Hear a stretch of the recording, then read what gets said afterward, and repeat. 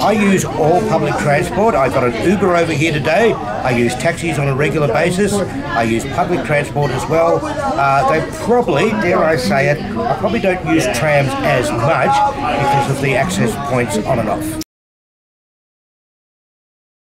Well, I was talking about a little bit safety for people on transport, especially travelling at night.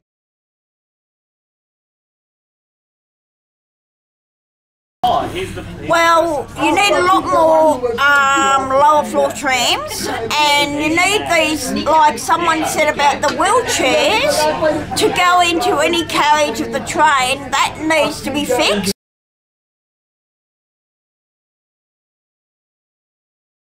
with the National Disability Insurance Scheme and NDIS starting, well then I'm going to lose the mobility allowance and lose a bit of my money, but my mum is panicking about that and so one way that problem can be solved is if the government will give me more money by my pension when the mobility allowance goes, well then that problem will be solved for me.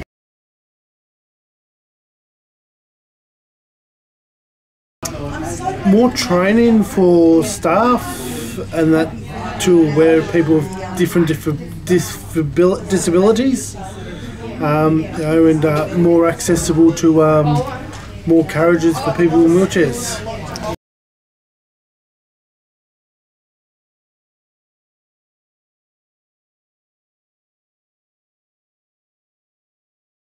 Tried to make it really clear that you need to speak up for yourself and you need to speak up for each other and work together and work with like groups. And um, you know election times loom. Talk to your politicians. That's what they're there for. And they want to hear these stories as well. And um, but you go to them and make sure that you've got a great story to share with them along with some of the suggestions I think would be wonderful to learn from today.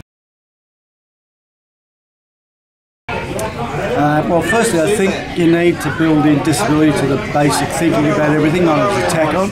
You're building a new station or a car park or ordering anything, it's got to be accessible.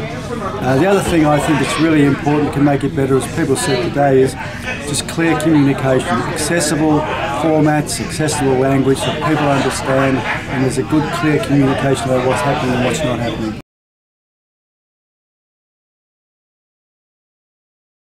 I was able to explain to them this is the services Travellers Aid provide.